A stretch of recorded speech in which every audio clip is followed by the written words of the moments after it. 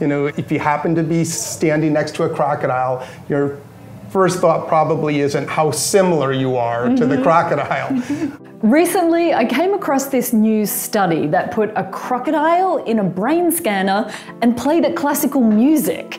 And I was like, you did what now? But it turns out this weird intersection of crocodiles and technology can teach us something pretty cool about ourselves. Like, when did we first develop the ability to perceive music?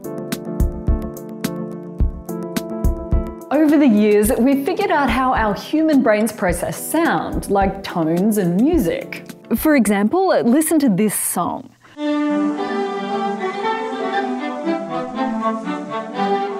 As you hear it, you process sound in a hierarchical way.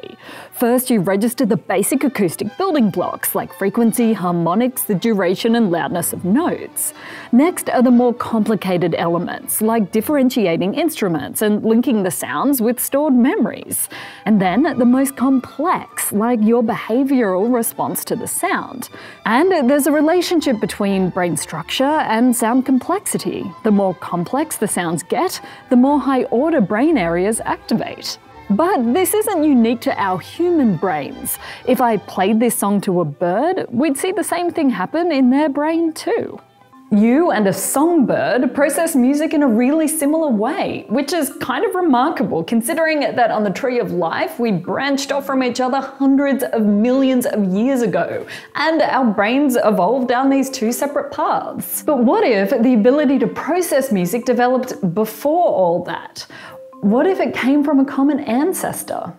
And this is where the crocodile comes in. Crocodiles are the oldest surviving relatives of modern birds, and ancient crocodiles that look pretty similar to the ones we know today. If we took a quick trip back in time, say 100 million years, there was a sort of a form of crocodile that we would say, oh, that's some kind of a crocodile. This is Dr. George Amato, the Director of Conservation Genomics for the American Museum of Natural History. While they wouldn't look exactly the same as crocodiles do today, they would have an elongated snout, lots of teeth, um, the ability to to sort of be hidden at, at, at, the shore underwater with most of your body underwater and just your nostrils and eyes up above. Now, crocodiles, birds, and humans all shared a common ancestor around 300 million years ago. It's a very sort of generic looking, you know, sort of thick limbed reptile that really then gave rise to mammals archosaurs, which are dinosaurs, and uh, crocodilians and birds, and then the other reptiles. This means they're a killer example to study if certain traits in our brains have been conserved over time. And in 2018, science has progressed far enough that we can scan the brains of live reptiles.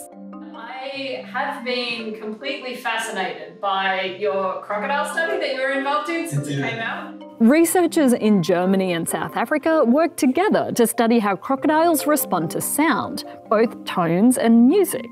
Five young Nile crocodiles were restrained, placed in an fMRI machine, and exposed to different auditory stimuli simple chord noises and then complex sounds, like Bach's Brandenburg Concerto No. 4, which has been used before in studies with birds. The researchers found that simple tones activated their basic sensory areas, but complex sounds like music activated additional regions.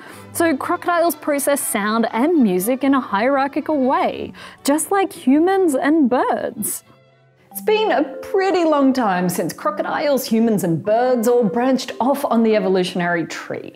So, your brain's ability to process music out of simple tones and decipher complex sounds is something that likely emerged at least 300 million years ago. Still, despite this commonality, I'm sure that you, an ancient giant crocodile, and a songbird all probably have different tastes in music.